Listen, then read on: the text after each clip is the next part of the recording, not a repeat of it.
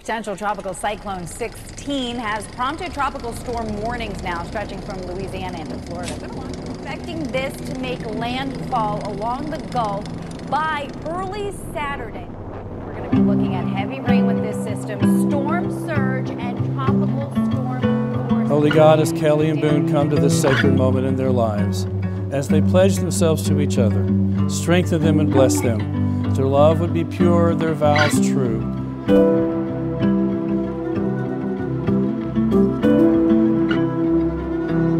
Bach wrote this beautiful concerto for two violins. But in that concerto, you hear one violin and then you hear another violin, and you can't tell which is which, but they, they spin and twirl and provide this gorgeous melody. Each of them are different, each of them are unique, but together, together, they make something that's so incredibly beautiful.